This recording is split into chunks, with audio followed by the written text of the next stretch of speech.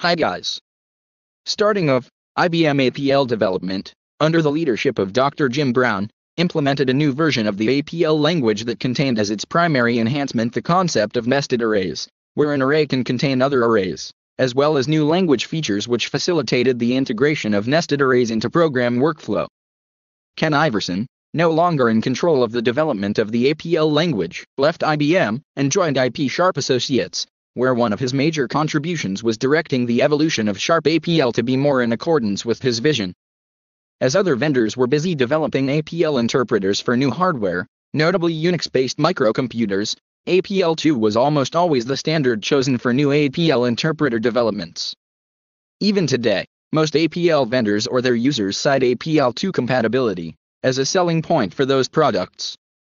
APL2 for IBM mainframe computers is still available. IBM cites its use for problem solving, system